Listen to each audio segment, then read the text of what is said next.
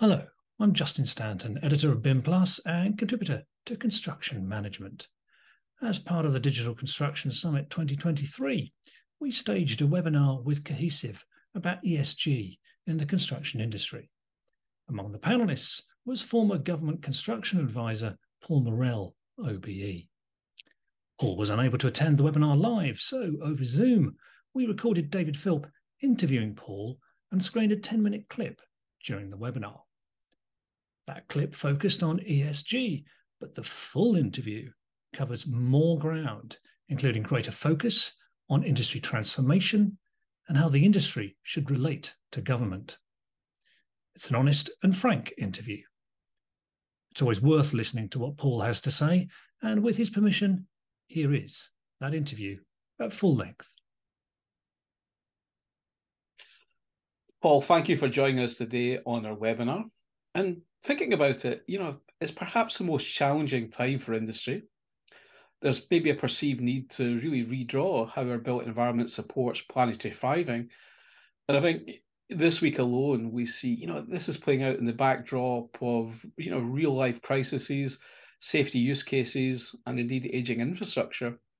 At the same time, we're hearing well, maybe a perception that, you know, stakeholders, especially investment community, you know, start to inform more and more the decisions based in terms of environment, social and governance or ESG credentials. Do you think that's true? You know, is construction sector really thinking really proper about ESG on the backdrop? Is it other things that are keeping, you know, especially key stakeholders awake at night? Uh, I'm sure it's the latter, that there are other things keeping people awake. I mean, you're quite right.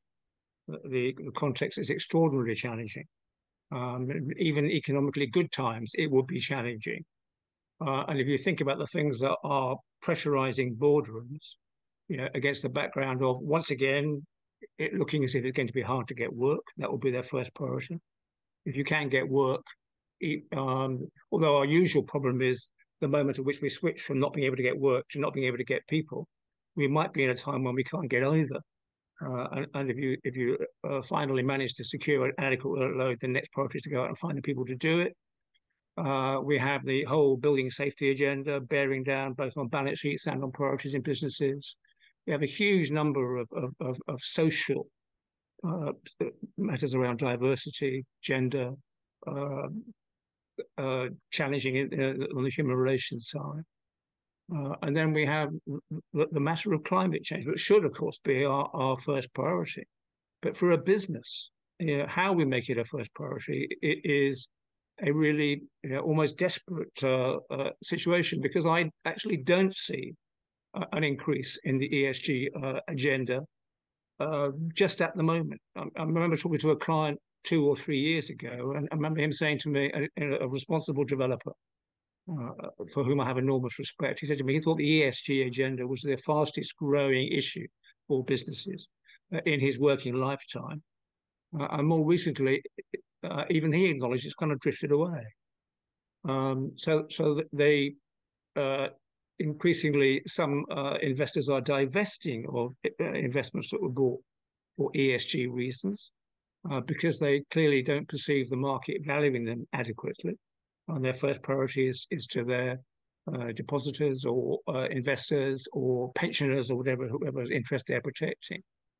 So yeah, it's an enormously challenging time, even before you get to you know the, the so-called uh, uh cost of living crisis, and, and and those two things are linked. You know, I, I think in the end, uh, people respond to a sense of public opinion. Do their customers really care enough to pay for or, or make any kind of uh, sacrifice, probably an over dramatic word, but, but giving up anything uh, in return for uh, an environmental improvement, uh, or will they pay more for it? And increasingly, I think the sense is that just at the moment, people won't. So, uh, to me, the whole issue, though, is how we get this back as a, as a key driver.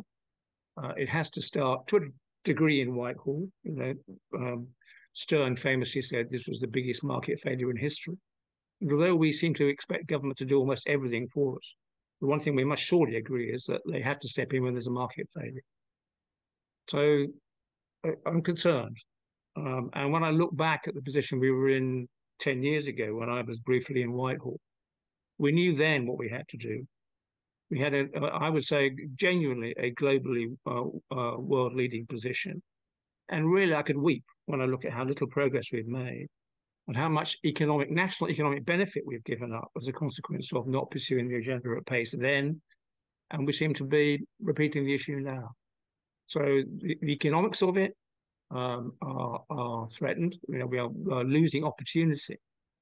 Um, and above all, of course, the, the environmental and social need for a cleaner, uh, lower carbon environment is still drifting. So it's a slightly. Well, I hope we come on to more positive things about how we might might uh, uh, bring about some change. But just at the moment, uh, I find it hard to buy into the idea that, uh, uh, uh, picking up on your question, that more and more stakeholders are demanding environmental responsibility on the part of those they invest in. Do you think one of the big challenges, Paul, is that it's often not relatable? Do you think we have to create a better line of sight to the everyday challenges, assurance, safety use cases. You know, is ESG seem to be the, this big thing that people really don't understand how it can improve service performance. It can actually support, if you like, better societal outcomes for our built assets. Do, do you think we have to reframe the value proposition, make it more relatable? Yes, and we have to look at the different interests of different, we now call stakeholders. Um, so, you know, the, the extent to which genuinely one, one's staff and pe- one's people expect social responsibility and environmental responsibility needs to be tested and reasserted. Um, because although young people are famously expected to be um, more demanding of, of, some kind of responsibility on that front, they're also consumers. You know, and, and the young people I know want the latest everything. Um, in parallel with wanting uh, increased protection for the planet. So we have to reframe that conversation with with our own people and get them on side. But above all, we have to persuade society, you know, consumers, uh, voters, uh, investors, uh, that we not just that we face a crisis, because that, that seems to be pretty clear to me, but also there's one we can do something about uh, even if only on the precautionary principle of, you know, um, if we act as if it matters and it doesn't matter, that doesn't matter. But if we act as if it doesn't matter and it does matter, that really does matter. You know, I, I like that principle generally across um, motivations for people to act. Um, so we, we need to, to, yes, reframe the conversation, bring it back to the front of priorities, but above all, show how um, we could actually make a change. And although people will repeatedly say, um, well, you know, we're, we're, we're not a big country. Uh, if we eliminated our, our, our, emissions, it wouldn't make a huge difference to the global position. It would at least establish uh, a, a high ground from which to encourage others to follow. I don't think you can just all keep waiting for each other to act. So 10, 12, 13 years on from knowing what we ought to be doing, we're doing a tiny proportion of it and the drivers for it uh, need to be revived uh, politically and socially, uh, and in all the relationships that the business is involved in. You mentioned that cadence, that you know the pool. We see many policy goals out, out there just now that is asking us to change. We talk about how, especially digital tool, if we tool up, it might help us. If there, do, do you think then? You mentioned, you know, probably since over a decade now, since we saw the first government policies come out you, you mentioned behavioural change, Paul. Do you think we're doing enough in terms of, if you like, the the remapping, call you want that redrawing, in the context of organisational change, i.e., you know, are we making the lifestyle changes that we need as departments, as asset owners, to actually, you know, drive towards these policy goals? Not at any corporate level that I've seen. You know, I, I, of course, I, I do meet and I know friends who, you know, um, are changing their lifestyle in response to a genuine belief, particularly those with, with young children, you know, belief that they shouldn't sit on jets, shouldn't be eating meat, you know, whatever uh, make some kind of contribution to it. So I do see people uh, um, and know people who are changing their lifestyle, who wouldn't dream of owning a car, uh, only travel on public transport, and so on. Um, but I don't see any translation of that to a corporate belief that the whole market is moving in a way that makes it worth going uh, wholeheartedly for environmental responsibility as a business driver. Um, and uh, I think at an industry level, and I feel the same way about building safety, by the way, um, we need to be very clear that we could have a plan. You know, I think we do sit and watch government and wait for government to act on things. And in the context of building safety, which I've been much involved in the last couple of years, um, I do say to the industry, if you're waiting for for government to tell you what a safe building is made of, uh, and and how you uh, treat a product to make sure that it's safe um, out of the factory and in use, uh, and in everything in between, I've not met anybody in Whitehall who can answer those questions. And why would they? Uh, and uh, even in, since the period that I was in in in uh, Whitehall, there's been a huge loss of resources there a huge loss of, of corporate knowledge. Every question that gets asked of government seems to me to be as treated as if it's the first time it's ever been thought of. Whereas 10 or 12 years ago, somebody would say, well, we looked at that, you know, and, and this is what we decided then, and has anything changed? Now everything starts from scratch and there's no result. So, so I think we need to be very clear as an industry. You know, and although I don't like the kind of Godzilla idea of buildings go around, you know, emitting uh, uh, carbon, like some kind of kind of uh, uh, unearthly creature. You know, they are responsible for carbon because that's where we live, that's where we are. You know, when we're not on transport or at work, we're in our homes. Uh, so buildings are no more responsible for carbon emissions than beaches are responsible for the use of suntan lotion. You know, they're, they're where people are uh, and where they behave as they do. Still think, nonetheless, the industry could, could look at where its carbon is, which we did 10, 12 years ago. Um, and on a very simple principle, say, you know, look, whatever strategy you might have, measure what your output is now and reduce it. And these are the things that you could do to reduce it. Um, and start to, to to drive that into our customers' uh, expectation. Um, ask professionals, you know, do you really think you should be producing buildings that are damaging to the environment? Uh, um, and as a digression, I remember a lecture series from somebody who had been around the world lecturing on uh, um, environmental protection and an engineer that I respected. I, I did say to him, you know, at, at his final lecture, um, what do you do when a client just doesn't want to buy what you're selling? You say, you know, you should produce a sustainable building and you define sustainable as in whichever way you can, but critically in, in, in reducing carbon, both in, in embodied use and in operational use. What do you do? And his answer was, well, we have to eat. That's an honest answer. Yeah. But if you ask an engineer what would happen if a, if a, a client said he'd be perfectly happy with a structurally unsafe building, he wouldn't surely say, well, we have to eat. He'd say, well, we can't do it.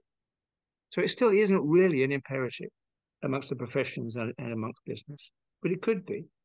You know, the profession simply decided that it is unprofessional, it's unethical to produce buildings that don't meet a certain standard. Then the question is, what are the standards? Um, and you could get a long way, I think. And a lot of the bones of this exist. I'll come back to the problem with, with the bones of it. But, you know, the, the CLC does work on this. You know, Green Building Council does work on this. You know, the groups all round that do work on it. We, we have the bones of a plan, but we don't really have the, the conviction to proceed with uh, implementing it if we had a co- coherent plan that had universal buy-in, then the message to government would be, we can do this. This would be the impact. But this is what you have to do. We should be very limited. And almost certainly will have to involve regulation, which of course, you know, the absence of regulation is behind many of our problems at the moment. To get to that position, though, we have to remove the competitiveness from the way this industry acts about everything. You know that, that, everybody who produces a report demands that it's that their name is stamped big on the cover. Uh, no, anybody else who wants to join in has a, may have, be allowed a smaller logo. But at no point do we get to the stage where this is the industry plan for this subject. And my dad taught me when I was very young. Um, you know, many life lessons that I've carried with me. But one of them was there's very little in this life that you can't achieve if you don't mind who gets the credit you know, the credit has to be a, a collective one, and to bring those plans together, and to be much tough, tougher with government. To say we want to do this, we can do this, we know how to do it, and by the way, the economic opportunities involved in it, uh, not just at home but internationally. are enormous. Because if you if you believe the science, and frankly, if you don't, you're an idiot. I mean, the science isn't over, but I'm not aware of a single peer-reviewed scientific paper that argues against the scientific consensus on climate change. If you believe that, then you must believe that in, in the end, everybody's going to have to act, even if it's only reactively and and and in crisis. The opportunities are huge. Um, so you need to reframe it as a combination of the consequences of not acting and the benefits of acting, uh, and to do so collectively, and to to change our relationship with government from what are you going to do? What do you want us to do? Know, why don't you do this? Into this is what we will do. What I used to call in my Whitehall days, something for something. If you did this, we could do that. So that's a very long-winded answer to your question. Yes, we need to reframe uh, in all our relationships as a business, uh, with our staff, with our investors, with our customers, with, uh, um, and with our regulators. We need to reframe the relationship and to, to, to, have absolute agreement, you know, that you, you almost need, um, you need a register of people who are misbehaving um, uh, and those who are behaving. We're a long way from it, I think. So, since Paul, we, we, we can't rely upon the pool. You know, government's got you know many policies out there, but you know maybe it's a bit like BIM level two. There's not any consequences there. There may be soft targets within there, and actually we need to make sure that the the push is equally as strong and to create some degree of a you know of a consensus. Do you, you know, we're seeing probably in the last 10 years a huge amount of adoption in terms of both new technologies. It's probably gone beyond BIM as well now. We're starting to see machine learning coming into play. We're at the early days of artificial intelligence, you know, in terms of that are starting to offer, you know, some degree of ESG. Are, are, do, you, do you think it's real? Do you think we are starting to see technologies now? I wouldn't say improving upon things, but do you think we're getting a better? It's something you mentioned, Paul. Are we getting at actually understanding the baseline? Can we really measure, you know, our carbon or ESG impact on not just the new assets, but especially existing retained estate? Are you seeing that push from the supply chain? I'm I'm not particularly seeing the push, but I'm seeing the tool. You know, uh, if you had a plan, then the questions would be, okay, well, do we have the do we have the methodologies? Uh, uh, you know, what are we what are we trying to do? We're trying to reduce carbon. Do we know where the carbon is?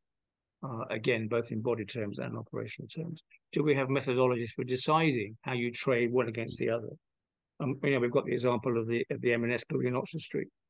I absolutely do not know the rights and wrongs of that. Uh, but what I do know is I have not seen a convincing case either to to demolish it or to keep it, uh, and I'm I'm not sure that we have you know, a settled methodology that says this is the regulatory trade, which is what's happening. Of course, it may be that you know you call it a planning and you say it's not regulation, but it is. Uh, you know, what is the methodology by which we all agree that if the uh, embodied carbon in a building is to be lost, then the operational improvement needs to be X, X plus, or whatever the number is. What's the methodology? And by the way, how do you build into that a much more complex issue of business of productivity and business benefit? Life is not just about carbon. Um, uh, in, in, the end, most effort probably translates to carbon. Uh, so we need methodologies, and those absolutely can only be digital. Uh, uh, again, back in the in the early days of BIM, which you and I remember all too well, I remember saying, you know, if, data isn't digital, it may as well be lost because sooner or later it will be. So you would hope that technology uh, would would uh, support agreed methodologies, not not competitively offered technologies from house to house, but agreed methodologies by which we measure. Um, and certainly imperfectly at first, by the way. Another thing I said 10 years ago repeatedly is if a job's worth doing, it's worth doing badly. A G.K. Chesterton quote. It just meant get started. The perfect is the enemy of the good. As long as you're not making wrong decisions on the basis of an imperfect method, get going, and then we'll polish the method. Yeah. Um, so, so the technology is essential. You know, we need to start, and, and the great big, you and I know oh too well, the great, the next great big challenge, which is to populate models with real data. as opposed to just handling three dimensions, you know, slightly more competently, real data. And we need to have measures of, of carbon. We need to have a carbon economy that has all the same components as an economic, uh, you know, a financial economy. You know, we need to have net carbon added and gross carbon added, uh, um, uh, so we can trace things through. Um, and again, you will get a regulatory requirement because there is no point in punishing businesses uh, at home uh, for their carbon output if the alternative is just to import them. So, so, you know, you wipe out your own industries and you import uh, from elsewhere at, at, a level which is carbon inefficient, and you add the carbon of transporting it. So it, it needs to be hmm. thought through. Um, but technology absolutely an essential ingredient to make sure that we have the data, we collect the data, we disseminate the data from through from project to project and down through the supply chain, and that then we we improve the way that we measure things. But fundamentally, we make decisions, regulatory decisions, about what the expectation is. Uh, and although I said, you know, we, we can't just look at government, we need to be clear to government that unless you regulate for a market failure, it will continue to deliver failure. So it sounds, Paul, then, uh, you know, if we're serious about trying to make change and the use of the tooling, the technology such as digital twinning, we, probably have to think about data quality being hugely important, probably even at an accountancy grade level, to hydrate these models, be it digital twins or machine learning as well. So it sounds like we need to put a bit more governance round about our data going forward as well. I think as well, I certainly concur that if we are going to solve this very wicked problem, we've got to share the data as well, you know, across different agencies, different departments, a better benchmark and actually understand going going forward as well. So, do you think you know we're starting to see ideas emerging more and more in terms of national digital twins, understanding in real time the impact of our infrastructure? Do you think these step changes really important in terms of the decarbonisation agenda? Again, yes and no. The, the, the, yes is it's an essential tool. The no is I don't think it's going to drive behavior. It, it's the second question, isn't it? You know, we have to do this thing. We have to reduce carbon consumption by uh, carbon emissions by this amount, um, and we need to do that partly in in uh, embodied, which of course will become more and more important as we get more efficient operation and in operational energy. Um, now, having decided we need to do that, how do we do it? How do we measure? What are the tools? I think that's what gets you to the technology. Um, so this is removing an obstacle. It's just too complicated to measure without the technology. But it isn't going to drive the behavior, I don't think. Um, I don't hear people say, I'd love to do this, but I can't find the software. Yeah. Um, so, so I, like so many things in life uh, around intelligence, artificial or otherwise, um, it's a tool. It's it's not a driver, uh, to to my mind anyway. Just as BIM will not create collaboration, uh, it, it, it's a means of collaborating for those who are so-minded, and it removes the inability to collaborate because you just simply can't find that famous single version of the truth anyway. All so you're you're you're rolling the pitch. There are new ways of behaving. Uh, it's just like you know the 3D aspects of BIM really, which is okay, we'd like to do this, but show me the tools. And you develop the tools, and people find they work, uh, and then they start to adopt and improve and increase and so on. And this, we hope they start to change their behavior. But you know, really, in the uh, whatever it is, 10, 11, 12 years since the BIM mandate uh, was announced, how fundamental is the change in people's inclination to collaborate? I wonder. You know, how how deep is it? Um, and looking at that probably gives you a realistic view of how long it would take us to uh, take seriously the use of technology to measure carbon. So, so transformational change at a boardroom level. It, when we think about organizational change management again, it just doesn't look well. It doesn't feel to me as we're often moving fast enough with there. Do, do you think we've got real leadership both in terms of ESG and just in terms of industry change sufficiently? Well, no, because where is it? Yeah, um, and I, I'm I'm a huge fan of the idea of a construction leadership council. You know, the clues in the words. uh, but but it's unresourced. Um, and, and, I wouldn't be optimistic about industries, a, a demand industry that it resources it. Um, but that's where the answer has to be. Uh, and, and, one's plea to this, you know, and, I've heard certainly CLC leadership say we, we we we don't initiate anything, we can't initiate anything.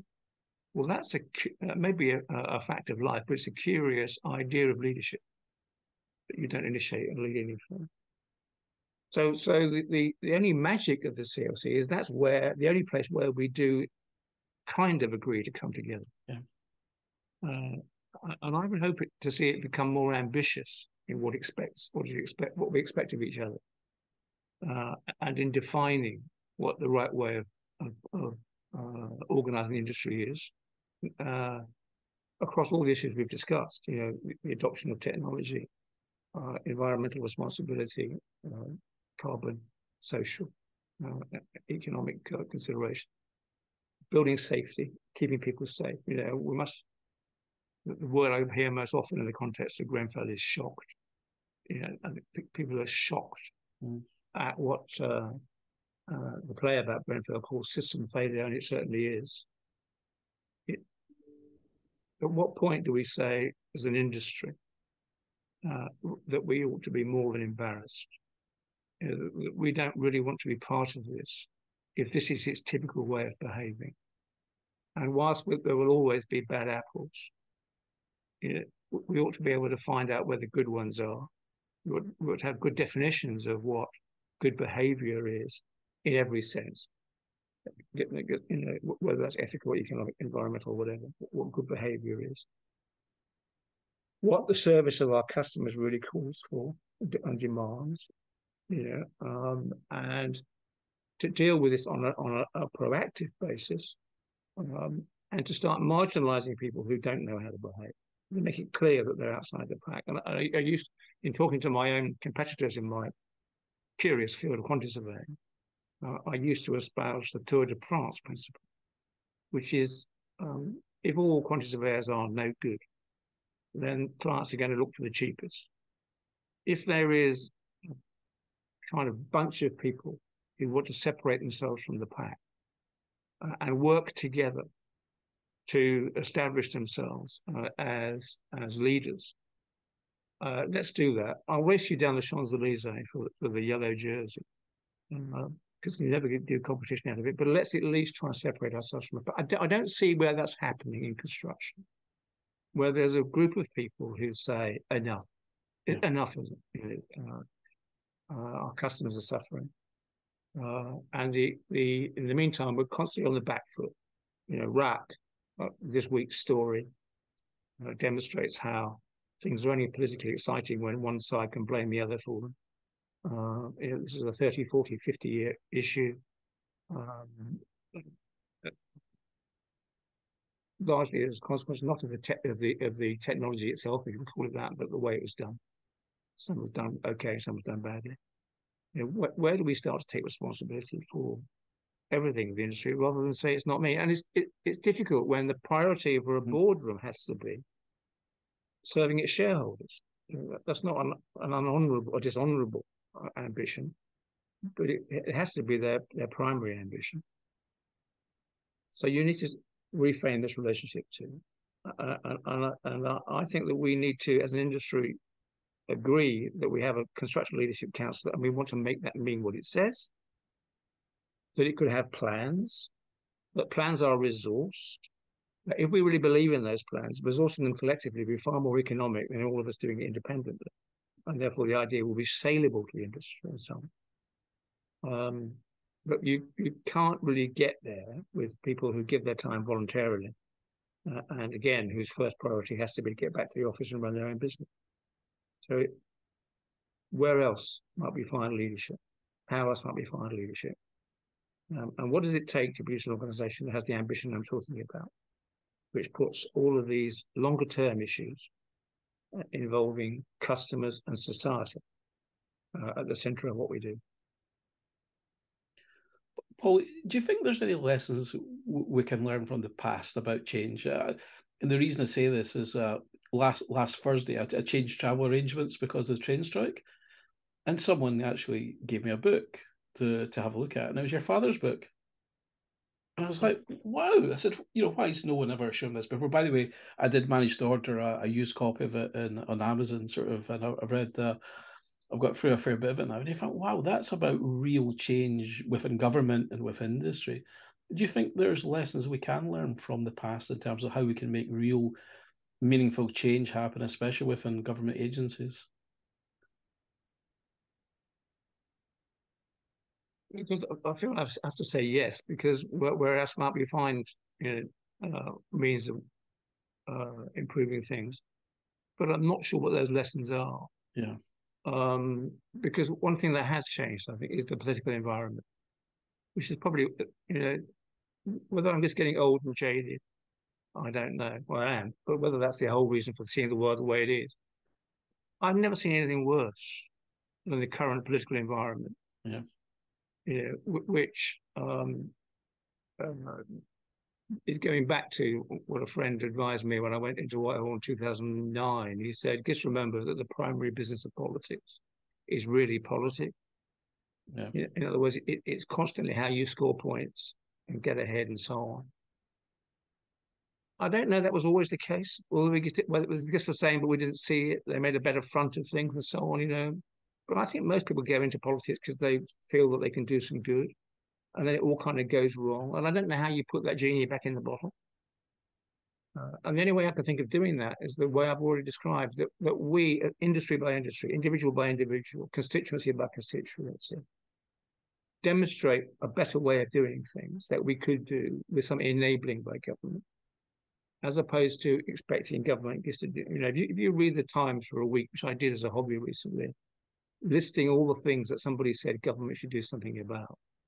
And then you say, well, oh, how could they? Uh, you know, and, and simultaneously we demand a smaller government and smaller Whitehall and less resources and so on and so forth. I think that's you know, an important, a lesson from the past is that we didn't just expect government to do everything. You know, we had a clear, fairly clear view of where market failure is. You know, that the government's role is to defend the realm and to defend the currency and to address market failure. Uh, and market failure in its broader sense, you know, wherever there's social damage done as a consequence of the market not delivering a solution. Um, I think that needs that needs reframing as well. So whether we can get back there, how you get back there in an increasingly polarized world, uh, I'm not sure. I just know we have to. You know, we can't carry on in a world in which people who don't agree with each other don't even meet and talk. You, know, you, you, never find a middle way, you never find a compromise solution, you never find a way ahead. And even people who are similarly uh, aligned on thinking, nonetheless, get back to a competitive way of presenting their point of view, so it never comes across as correct. And I, I know that certainly one one former construction minister told me that he told the industry he would never meet them again until they came back with a single voice. Well, that's probably naive, but understandable. You know, so, and we certainly need a single voice per issue, a single idea per issue. Um, uh, again, I get back to a CLC um, and, and what our what our plan is on building safety. There's a load of stuff going on, but I can't see the plan. something that the industry can say, "This is our plan which will take a long time, which will be imperfect, but which will get make a safer world every day, and that and its end result will be buildings and products that are safe. We have to take responsibility for it, um, and that has to start. We have to find a way of doing that in precedence to the immediate boardroom pressures of getting work, making profit, finding staff, dealing with you know, what Macmillan called events here, boy, you know, the day-to-day stuff that, that derails us and so on. Um, I think that's the biggest lesson of the past. You know, how in the in the absence of a bigger government, we can nonetheless secure the results that we would have expected of the bigger government in terms of addressing failure. You look back there to 2009, Paul. You know, with, with this new role of the you know the chief you know government construction advisor yourself, then Peter Hansford took in terms of trying to bridge that sort of chasm between industry and, and government. To me, at the time, it was a time of you know huge enthusiasm, and it felt collegiate. it felt as if we did have a plan. We, we definitely had a strategy within there. And if anything I do remember was that huge amount of engagement with industry, you know, from the different working groups. Do, do you think that it'd be good to actually again, you know, recreate that role of the of the construction advisor again, to create that linkage? I, I think that I think those roles, whatever it's called, that bridge is important. Um, it's uh, a, a, difficult role, um, and there is no uh, conceit involved in saying it's very hard to find people who can do it and will do it because uh, if you come out of a very powerful uh, PLC environment, you know where you just Captain Picard's style, you just say make it so to your people, and it is so that's not going and you're expecting a car at the front door when you go to your next meeting. That's not going to work. Um, I think that actually, to a degree, having been in a partnership was a unique qualification for the job, you know, where every discussion is a negotiation. Uh, in that case, with the business owners as well as the business uh, those who work in the business. Um, there's an issue of conflict of interest. I divested myself of every commercial interest um, in the time I was there, um, not just to avoid the conflict of interest, but any possibility of anybody suggesting there might be one.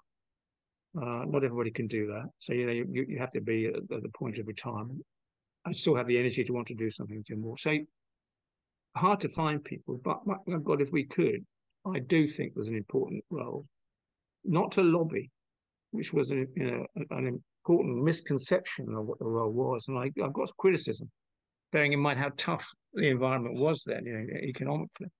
I got criticism for not doing more for the industry in, in, in addressing the absence of work. Well, I never saw that as the job. Uh, and I thought the minute it became the job, or the minute I started behaving as if it was, I would stop, I'd uh, lose the audience within a while. Because there are thousands of people knocking at the door saying, give us a job, give us more work, do, pay us faster, do, pay us more, whatever. Um, but somebody who could say, you know, actually, this industry could do more for you if you did this thing, um, and who was trusted to be genuinely interested in what would be a more productive and more valuable industry than just in making work. I think that would be hugely helpful. Uh, and yet, what's happening is the opposite.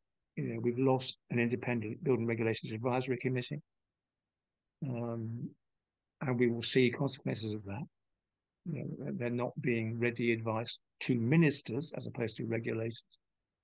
Um, and I'm sure that it, this week there have been many calls about RAAC.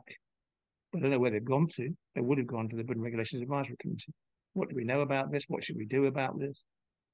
Um, as opposed to just running around headlessly. Um, we seem to be removing sources of, of, of independent, valuable advice. But yes, if, you could find the person with the energy and, and the independence uh, and the hard and soft skills, I think there's a hugely valuable job, particularly with a smaller civil service and having somebody who can point to priorities and where the best where where the best change can be made, both in terms of government's behaviour as a client uh, and in terms and its role as a sponsor. Critically, not I would say its role as a regulator. Um, I, I, steered well clear of that um, because I think that does get you into a very difficult point of conflict if you, your fundamental interest is a better industry. Um, but yeah, I would, I would, I would look again, um, but I wouldn't be optimistic. I think the reason they made the change was they felt they now had the skills internally. Uh, but with respect, not even a very skilled, very experienced civil servant has the knowledge and the skills and the experience and the network. Yeah. And the network was important which somebody who spent a lifetime in industry would have. Uh, somehow or other, we need to make a bridge so that we can have a conversation that's trusted. And again, that might well come out of a reinforced construction leadership council, which at least has an audience with the minister and could have an audience with more ministers. Um, uh, again, if it's trusted to be uh, independent and to represent more of the interests of the big guys. You, you think because obviously construction is still a devolved matter as well. Do you think we're doing enough in terms of you know across UK to make this happen? You know, all you know working sort of you know in March step together. No. um, that, that, that's that's easy. No, clearly. Otherwise, we would see the plans, we would see the progress, yeah. and we would know what we had to do next. Uh, and that's all I'm asking for, really, is, is where's the plan? Yeah, yeah. And there are there are bits of plans, and, uh, and on building safety, there's some you know, spectacularly important work going on, but but it's disconnected. Those who are doing the work probably get no credit for it. Uh, notwithstanding what I say about don't mind who gets the credit, um, you start to feel maybe it would be good to have a bit of credit if the, if the alternative is being told constantly that you're all rotten, uh, which is increasingly the the, uh, uh, the narrative about the industry around the issue of construction safety. Um, so no, we're not doing it. And I, and I and I get back again to where might that happen? Where might it come together other than a construction leadership council? It used to be the the um, uh, strategic forum. But again, that was that was of, that kind of died on its feet, and the CLC was an alternative to that. At some point, enough major players across the whole series of constituencies of products, design, construction, and then into FM and use need to come together to paint a picture of what a better future looks like, uh, what the behaviour is expected of, of, of, the good guys uh, looks like, um, and how to get from here to there. What's the plan? So you know, that would be my repeated question to anybody who says, "What are we going to do about carb?" I don't. What's your plan? And there are, you know, there are bits of plans, but they're not universally bought into. Uh, and as I say, they're, they're in danger of becoming competitive. So we need consensus. We need a, a unified plan it sounds as if we've probably got the tools, the knowledge, and the skills, but you know, bringing the network together, if if you like, sounds to be hugely important, as is behaviours. But Paul, you probably mentioned at the start, you're you're probably at the point where you are probably a bit pessimistic about you know where we are. Uh, can I, I'll, I'll give you a bit of a thought for optimism then. So next generation. So my, my daughter is, you know, she's 17. She's about to start university a, a week in a Monday coming uh, you know, doing construction. You know, she's done her civil engineer. You know, she's full of change. You know, she's full of, you know, she's a, a digital native. Do you think the next generation, next generation, will do a better job than us in terms of, you know, trying to steer us to a more sustainable built environment?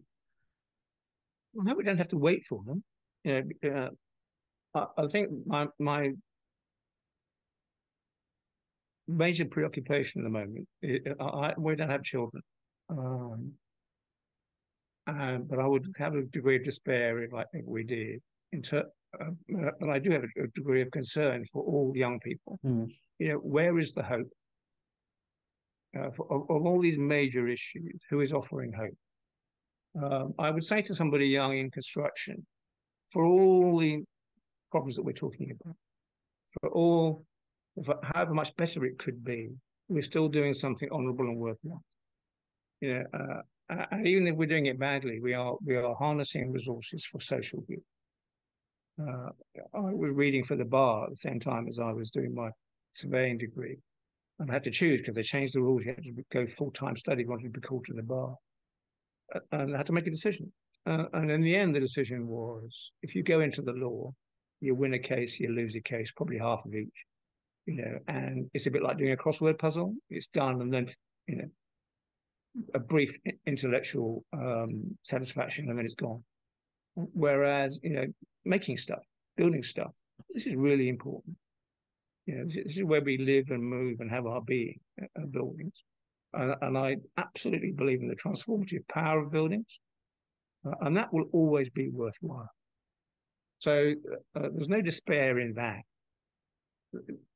Frustration is a better word, probably, about how much better it could be um, and certainly despair is the, the, main at my age the main grounds for optimism are that despair is no way to live you know I just, yeah. I, I, just don't want to be you know, permanently pessimistic I, I, couldn't live that way so you you look around for sources of hope uh, and of course you look to young people and hope but they need you know leadership too yeah. um, they need a bit more you know more than what the sociologists would call permission to do better um, and they need to strike some kind of reasonable balance between setting fire to the world um, and settling for it as it is. That, that, that's difficult. So yes, what we do is worthwhile. You know, and, and however young you are, it, it's a, it's you know, I don't know anybody in this industry who, for all the fact we moaned about it, wants to be in any other. Yeah. Uh, uh, because it has a product and a valuable product. Uh, and well, we make bad buildings, we make a lot of very good ones too. And those, as I say, do enormous, uh, have enormous transformative power. Um, so the frustration is how much better it would be. And the next generation's challenge has to be those things that we haven't cracked, um, which are fundamentally around whether buildings do what they're supposed to do. Uh, because we continually uh, have a gap between the expectation of a building or its potential, what it actually does. You know, that has to be one of their priorities.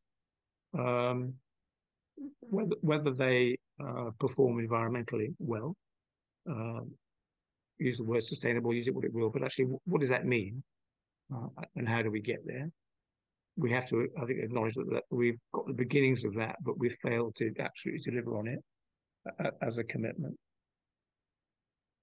That's where my hope is that, that, that young people will not settle, not settle for what we hand on, um, and not be uh, cowed by a world in which it's going to be increasingly hard to get a job, uh, a hugely competitive world, um, and that they will harness artificial intelligence rather than surrender to it.